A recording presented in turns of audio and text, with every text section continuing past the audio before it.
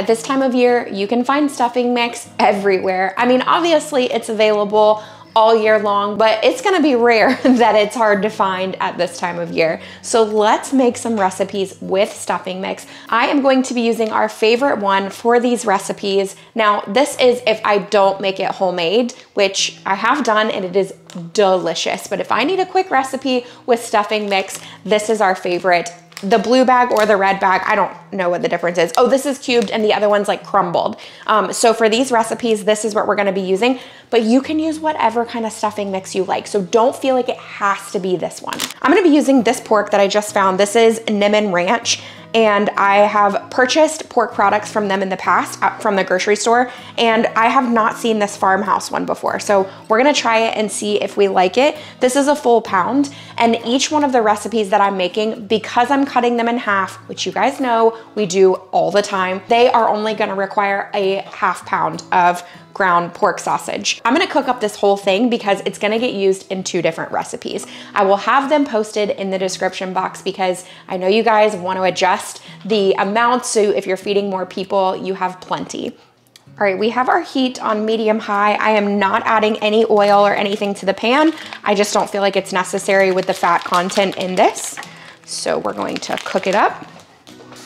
While I'm cooking this, I'm preheating my oven to 375 degrees, just so we can get that started.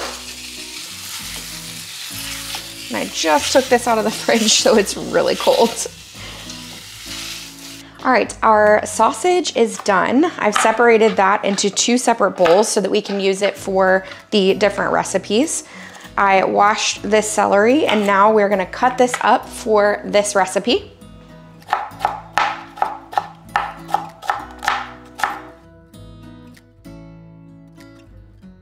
I just took some fresh thyme off of our garden, but if you don't have fresh thyme, that's completely fine. You can just use dried thyme, but I'm gonna add some to the celery.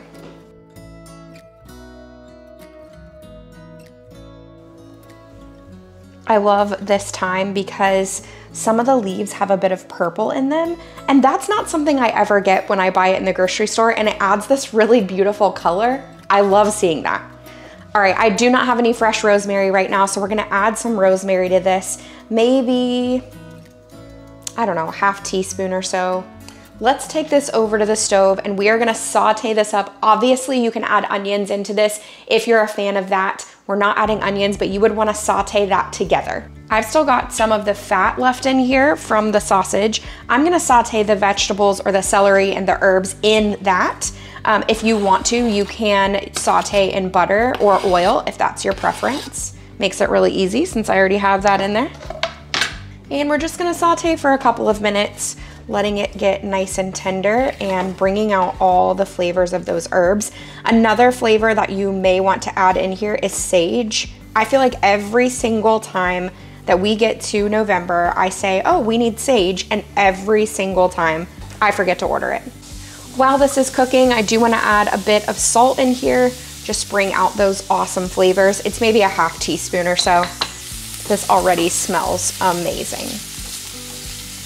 Now that this has been cooking for a few minutes and we're getting close to being done, I'm gonna add, oh, that's a bit much.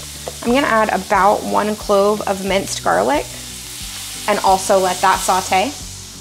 And you can cook this together with your sausage. Since I'm making two separate recipes, that's why I did it separate. I pulled the sausage out, but I mean, if you had it like this right here, that's also totally fine. We've got a good saute. Our oven is almost completely preheated, which is perfect timing. Add about three-ish cups of this stuffing to this bowl. Oh, oven's ready. You could probably go up to four for this half recipe. You can go up to eight. I mean, you know, you know, you can add however much you need to. I'm adding one cup of bone broth or chicken broth if that's your preference. Now remember, bone broth is gonna have less sodium in it, so you may end up feeling like you need to add a little bit of salt. All right, so we're just kind of rehydrating those um, stuffing cubes, those breadcrumbs while we're waiting on this let me know in the comments. Are you a bigger fan of the traditional bread stuffing? Are you a bigger fan of the, I think it's corn, corn muffin, corn stuffing? Is that what it is? I think, I mean, I've had that one too. I am, I, I just really like it in general, to be honest. I'm not, I'm not super picky about the different kinds. I think that, I don't know, it's, I'm, I'm a bread fan. Let's just be real. I like bread. While that sits there for a second, I'm going to whisk one egg.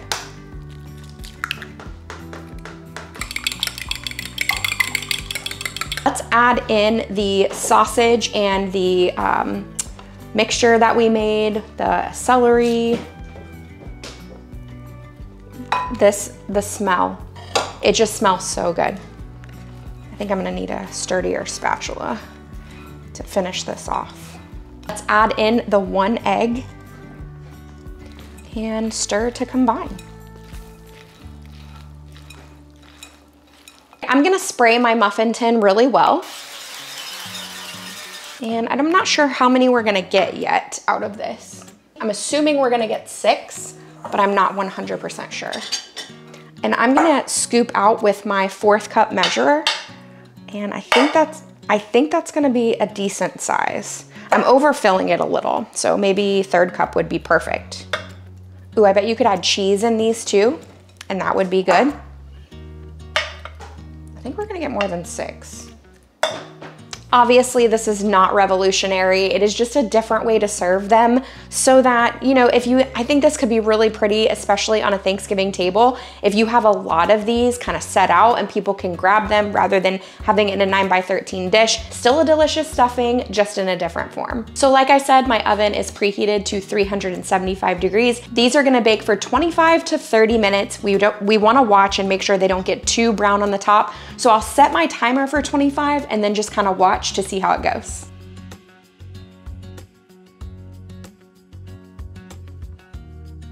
All right, let's try these stuffing muffins. Take a little bite off of one of them and that'll be mine at the table.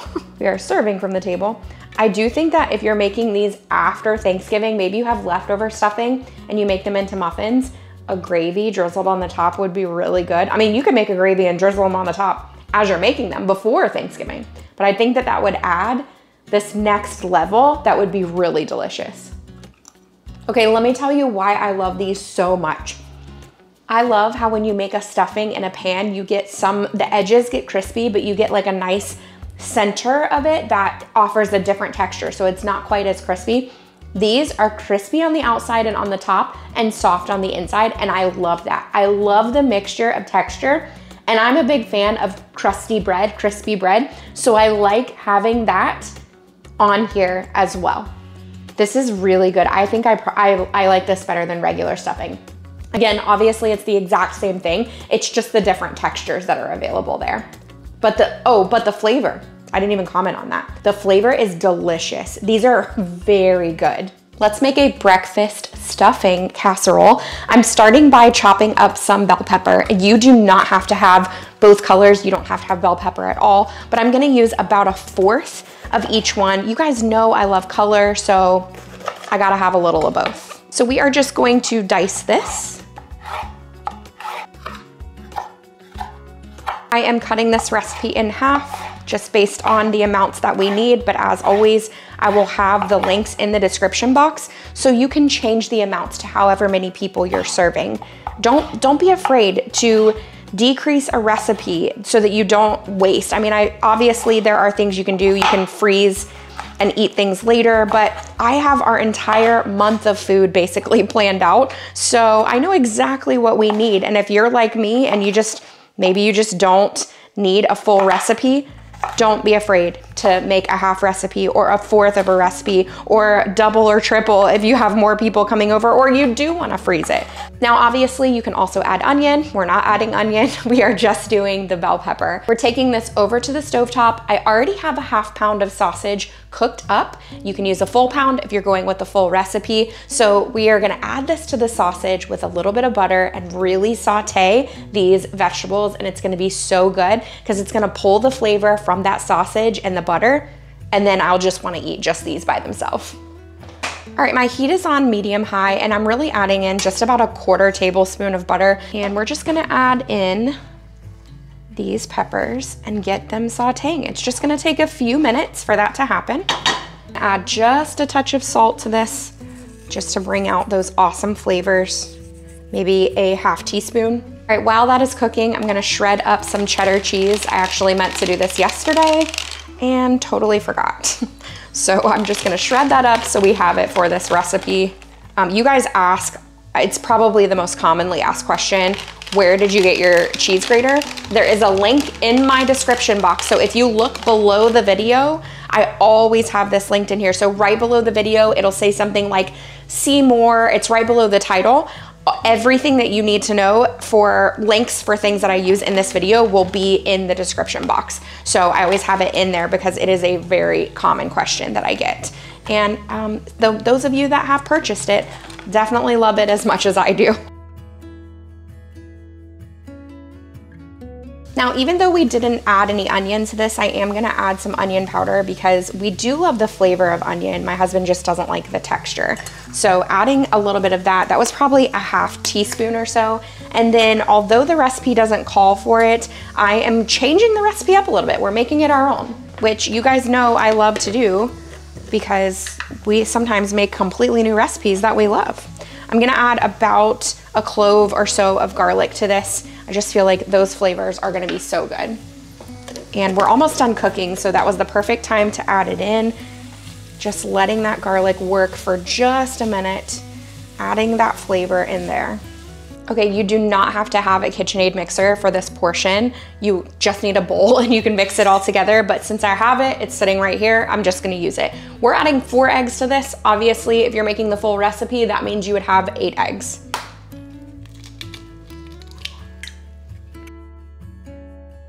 I'm just gonna use my uh, whisking attachment and just get those combined together. I'm gonna add in the sausage and peppers, which I mean, I could straight up just eat it like this. It smells so good. It looks so good. And also we need to add in three ounces of um, stuffing mix. And I think I'm gonna switch to the paddle. Oh, cheese, we need cheese. Just about a fourth cup of shredded cheese. Maybe, maybe a little more because we like cheese. Mix this together.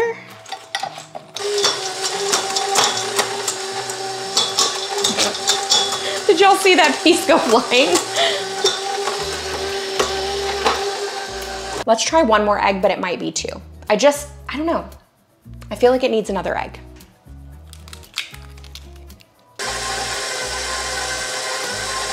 That looks so much better to me. Perfect. Now we are using an eight by eight baking dish. I am spraying it. And this is going to get poured into the baking dish. This is like a fiesta. I mean, look at all these colors. Evenly spread this out.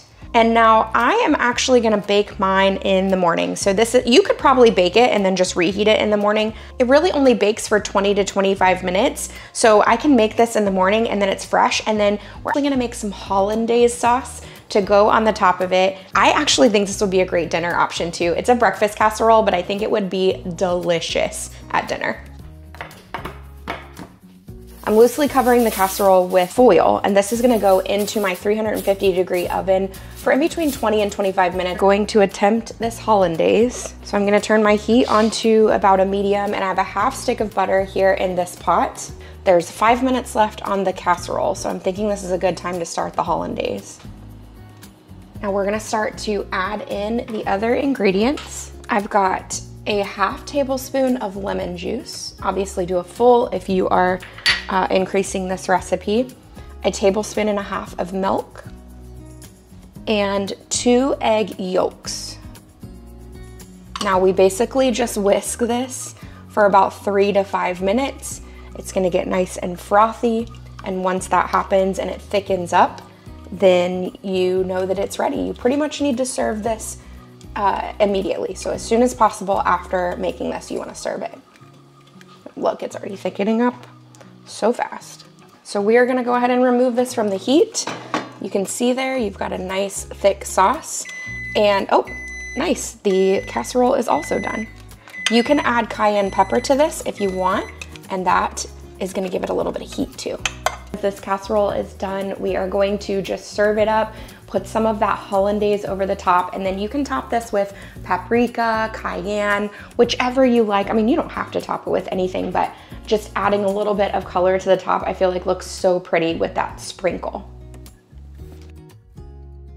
This is probably the best breakfast casserole I've ever had. The flavors are so good. And it's shocking how easy it is to make a hollandaise. It's one of those things that you think is scary, but it's not scary at all. It's actually really easy to make. The only suggestion I want to make on this casserole is you do not need to add any salt at all. With the sausage and all the flavors of the stuffing, extra salt just overdoes it. But y'all, it is so delicious absolutely fine without the hollandaise, but that took it over the top. So good. This is something that I grew up with. An aunt of mine made it all the time because it was my cousin's favorite. We have just always called it chicken casserole. I am gonna cut this recipe in half. It does typically make a 9 by 13 pan, but we don't need quite that much. So we're gonna do an 8 by 8 version. We've got two large chicken breasts here in this pot. I am boiling them so that we can shred up that chicken. While that chicken is cooking up, we're going to melt about a half stick of butter. I'm not measuring this exactly, just approximately. Pepperidge Farm classic stuffing. This one is herb stuffed. Now we are only gonna be using about half of this bag. So we're adding in the melted butter and we will mix all of that together. Now what she does is save some of the stock from cooking the chicken and add it in here. But she also adds bouillon to that. So it's got all that extra flavor. I did not cook mine in bouillon. It's just water and salt that I cooked it in. So we're gonna be adding bone broth into here. So we are making a few adjustments just based on the way that we normally eat things. I'm gonna add probably about a cup, cup and a half or so of this chicken bone broth. And we're going to get this to a thin consistency. That's what it says thin consistency. Start with that, see what it looks like. Oh, we forgot to preheat the oven. You're gonna preheat your oven to 350. Okay, there's no remaining liquid. It's all soaked in. I don't know that I would call this a thin consistency though, so let's just add a touch more. I feel like that's probably what she was talking about. I am gonna spray the baking dish. And then all of the stuffing goes at the bottom of the pan here. We're just creating a layer of the stuffing. Okay, I think that our chicken is done. So I'm gonna shred it up. I'm just gonna use my KitchenAid mixer because that makes it so easy to shred. I did season the water that we cooked this in, but I'm gonna add a little more seasoning here. And this is not part of the recipe, so you guys know I always have to change things up a little bit. I just can't ever do anything standard. I'm going to add a little bit of our favorite Kevin's seasoning, some garlic powder, maybe a half teaspoon, and same with the onion powder, about a half teaspoon. And I'm also gonna add a touch of Italian seasoning, again, right around a half teaspoon. We can mix this, and that's just gonna shred up the chicken for us. She does this in layers apparently. So the chicken goes on top and then there's a creamy layer that goes after that. I kind of feel like you could mix the sour cream and the cream of in here and that could be your layer. Let's change it just a little, just a little bit. It'll be all right. I mean, I just, I have to do, I have to make adjustments. I make my own cream of, so that's what this is. But if you're making the full recipe, you need about a can and a half of cream of chicken, cream of mushroom, whatever one you wanna use. She uses cream of chicken and she uses a can and a half for the full recipe. Now I'm not gonna add the whole can in here. I'm just gonna add a little bit of the can and we're gonna add a little bit of Greek yogurt too because you guys know we use Greek yogurt instead of sour cream. Okay, so I'm just adding a couple of tablespoons, but we are gonna make the layer that's gonna go on top. We're just experimenting with a different version here. Now we can take the chicken and it's gonna go all over the top.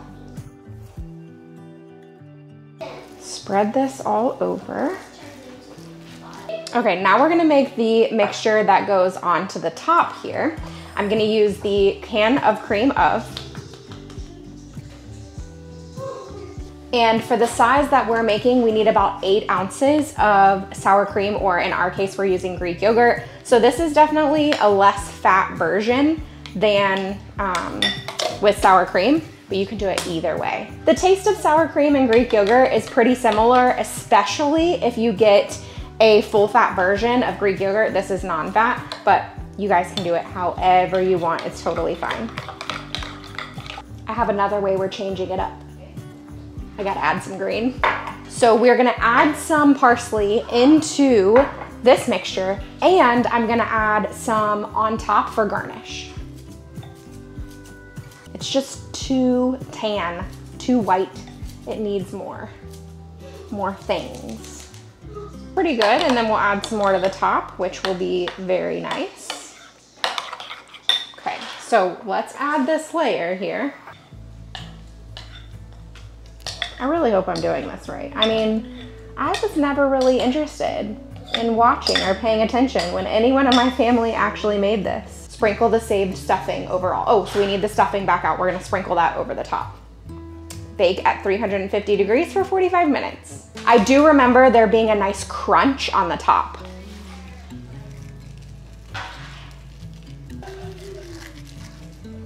We're gonna wait till after this comes out of the oven to add, to add a little bit more parsley garnish.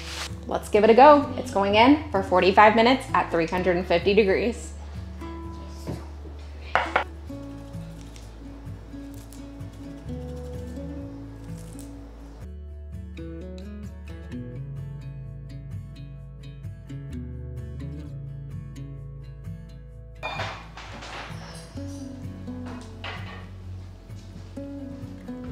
All right, let's see if this tastes like I remember. Obviously we made those few adjustments, so it might not be exactly the same. It does taste like I remember. I'm sorry that Ashley, my cousin, is not here to eat this right now. It's interesting because my husband's mom makes a very similar dish that she calls chicken stretcher. And they call it that because it would go a long way. So it, stre it would stretch a long way. Very similar flavors, very similar taste. Obviously, we tried to make ours a little bit more healthy than what maybe it was maybe the way that it was made when I was growing up, just based on the Greek yogurt and the homemade cream of, but very good flavors. It tastes really fresh, but also really hearty at the same time. It's just like, it's so nostalgic. Our verse today comes from Colossians 4 6. Let your conversation be always full of grace, seasoned with salt, so that you may know how to answer everyone. I hope that you enjoyed today's video. If you need more kitchen inspiration, I've got tons of it here on my channel. I highly suggest that you check out the video that I have listed above. That one is going to inspire and encourage you in the kitchen. Have a great week.